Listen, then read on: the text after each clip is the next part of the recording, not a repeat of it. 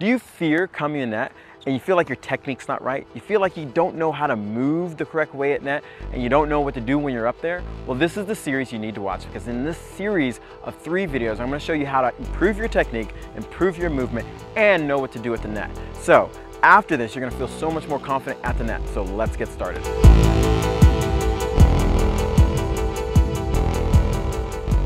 This video, we're gonna talk about the most important technique you need to have the best volleys on the court. And it comes down to three things. The first thing is what I call the grip and the hold. The second thing is what I call the turn. And the final thing is the racket face. Now let's get going. Why is this so important? Because if you want to become a better player and get to the next level, it's generally going to come down to somehow finishing the point, regardless of your game style. If you like hanging out the baseline, you can do that all day long, but there's going to come a time when you need to come in to finish the point. Maybe you're the type of player that is aggressive from the baseline. Well, even more so because you're going to hurt your opponent. And guess what they're going to do? They're going to give you short balls. We're going to have to finish it. I suffer from this so much where I be aggressive, do the right thing, and what I would get? A short ball. Then I go up to net and flag the volley, and it made me petrified of coming towards the net. It took me so long to get confident about what I need to do up there and how I need to move to be successful, and I don't want that for you. So let's talk about the grip and the hold. The grip you want to have is the continental grip. But before we talk about that, let's think about why so many people volley like this. They have the frying pan, which makes perfect sense because really the racket strings are looking where you want to hit the ball and it works, but it's not the most efficient way of volleying, especially if you get a ball that's not right here. If you get a ball that's low, you're gonna probably pop it up, and if you get a ball that's high, and if you get a ball on your backhand side, what are you gonna do? And this is the reason why having the correct grip is so important. The correct grip you wanna have is the continental grip. An easy way of finding that is holding your racket vertical and grabbing it like a hammer, like you're doing this way. If you're holding on the side, this is not like a hammer. So make sure you're holding it and you can hammer up and down. And the reason this is important is because the right grip gives you stability on both sides for your forehand and backhand volley without having to change grips. And what I mean by this is if you hold your hand out, you have these kind of two pressure points. One right here at this pad and one on your thumb. You can really push against this. Now, when you have a continental grip, notice how if I turn this way, my pad is slightly behind the racket. So meaning as I push against, or the uh, strings push against the racket, I can feel that and resist that. Same thing on the backhand side, my thumb is behind the strings. And so as the ball comes into contact with the strings, I can resist the ball. And that's what makes this grip so important.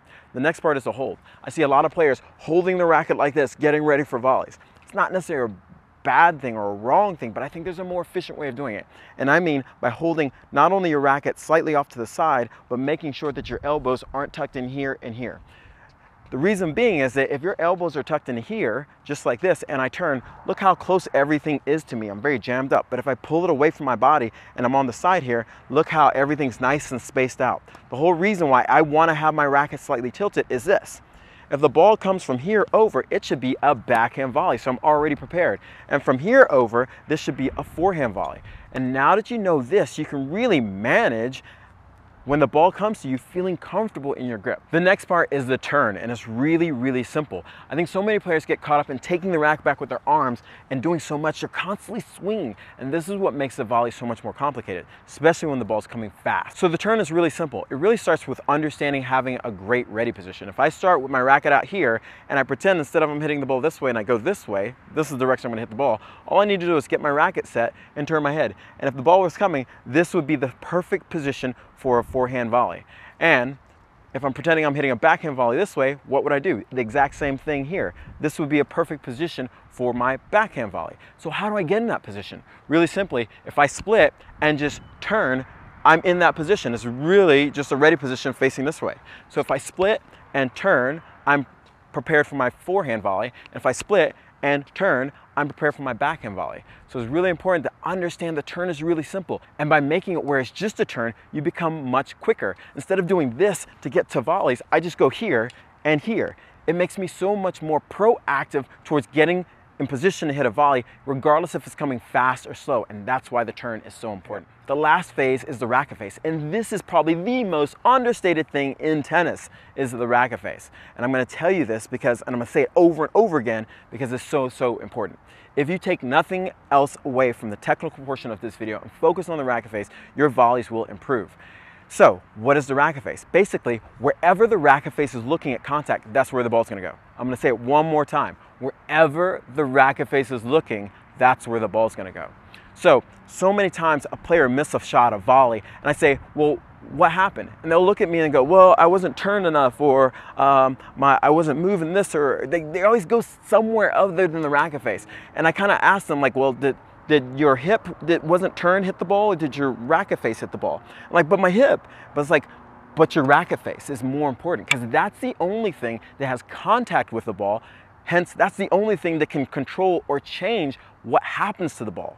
And everything we do in tennis is to optimize the racket face at contact. The whole shebang is about this. I don't want to get on a diatribe, but just know that everything we do in the game of tennis is to optimize what your racket face is doing at contact because that's the only thing that can control where the ball goes. Okay, so now that I got off my diatribe, it's really important to understand this. So what this means is if your racket face is open at contact, the ball's gonna go up. If your racket face is too close to contact, the ball's gonna go down. And this is so important that as you have lower balls, you're gonna have to open your racket face if it's below the net and soften up your hands if you want the drop shot or something. But as the ball gets higher, you don't have to have it as open because we don't need the ball to go as high.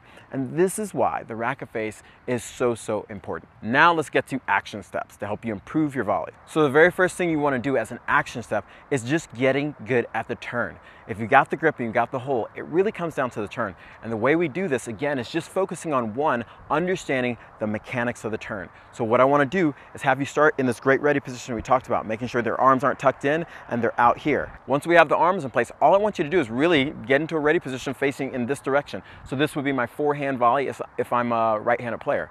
So if I get in a ready position here and just focus on opening up the racket face and turning, you can see how the racket's away from me here. This is the image you want to have when you're hitting a volley. This is that kind of classic seeing the players hit the volley. You can have your hand here or here, totally fine, but it's really making sure that coming back to ready position, that I look here and boom. So just getting here and feeling that position. And then I want to do the exact same thing on the backhand side. So again, getting into that ready position, opening up the racket face, looking forward, and again here. So you can really see how just having those images in your mind is super important. Now, how do we get there with our feet? How do we make sure that our feet's in the right position? So the way we want to do this is really think of stepping and then all I want you to do is take a step forward. Now, this is one important thing that I want you to not get confused because, oh, it drives me crazy. And we'll talk about it in the second uh, part of the series is do not stomp no killing bugs. We're a bug friendly place here. We don't like killing bugs. Well, I mean, unless they're trying to do something to us, but for the most part, don't stop. So this should be a light step. So just step, okay? And I just want you to practice just stepping, okay? And you'll see why this is important, just stepping. Now, if I take this and add my turn, look what happens here. Boom, I'm just stepping and I'm ready. I'm just stepping, just like that. So make sure now that you have the idea, we're just gonna go through reps. Just practice split, and then step. Split and then step. And all I'm doing, split and then step. It's the exact same position that we were in here, opening that racket face a little bit. And what's really happening is as I'm stepping, I'm opening up. We're gonna do the exact same process on the backhand side, which is just split and then step. Just a nice light step. Split and then step. From here, we'll add in our racket and do that same thing when we're doing our turn split and then step. And you can really see how this is really simple. You don't have to do a lot of backswings. So go through and do enough reps that you get this down. This is hugely important. Now I know we're not moving. That's what we're gonna talk about in the second part of the series. So make sure you get this down before you move to the second part of the series. Now, finally, it's really understanding the racket face. And this isn't necessarily a drill you, you have to do, but I want you to understand the different dynamics of the height or openness of the racket face. Meaning that the more I'm below the net, the more my racket's gonna be open. And as I start coming up, you can see my racket face starting to close. And this is gonna be really, really important as you get better at hitting volleys. And so the drill you wanna do is either have a ball machine or you can have a, a, a, partner feed you a ball and try to get them to feed you the same ball over and over again. What I mean by this is you're gonna hit a couple low balls, a mm-hmm. couple normal balls, and a couple of uh, higher balls. And what I want you to do is take that low ball and open up the racket face, making the ball go up. And when it goes over the net, all we want is like two or three feet over the net. If we get a normal ball, then we're gonna close it a little bit. It'll still have the ball traveling up a little bit. And if we get a higher ball, you can close it if you want. But it really depends on where you wanna hit the ball. Your target should be halfway between the baseline and service line. That's a great target. So all you're gonna do is practice split step, boom, take the low one, split step, normal, and then split step, high. And those are the action steps to start working on your technique. Hopefully you understand that volleying is not complicated. It's actually a lot simpler than most people make it. The big key is making sure you keep it simple, especially if the ball's coming fast or you're in a situation where maybe you're lunging and you can't control necessarily your body as much. This is how you become a much better volleyer. So let's sum everything up. Number one, you have to have the right grip. I know this does work in this situation and this situation. I see so many people going over here, but if you really want to become a better player, a better volleyer, and not have your volley stop you, you got to start learning how to use the continental grip and holding it the most efficient way. By doing this, you're gonna feel so much more solid when you hit a ball and not have it where the racket kind of jerks around or the dreaded like kill the ball like this. And you're just never gonna be consistent that way. So second, it is the turn. This is so important because it prepares you for the oncoming ball. And a lot of times we get so caught up in taking a big swing that we just don't understand that we just need to do a subtle turn. Sometimes also another quick tip on the turn, especially for the forehand side, the forehand may not require a huge turn all the way like the backhand might require a little bit more. But it really depends on the volley. But either way, you will be turning for the forehand or the backhand. It just depends on how much and where you want to put the ball.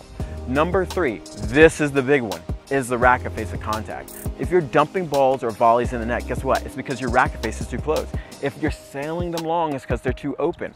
Yes, there could be some other things like you're swinging or you're trying to do too much with your volleys, or you're targeting the wrong location. But all those things come back to what's the racket face doing at contact. If you understand that, you can make dramatic changes in your volleys. If you like this video, make sure you go to totaltennisdomination.org and become a subscriber. As a subscriber, you're gonna get weekly tennis tips and different things that we personally send you, answering questions that our subscribers have to make sure you're getting the most out of your tennis game. So don't miss out. Go to totaltennisdomination.org and sign up to be a subscriber. So I'll see you next time for the next series where we talk about how to move better on the court. This is really crucial. If you start combining these all together, you're going to feel more and more comfortable moving forward, closing points off at the net because it is important if you want to become a better player.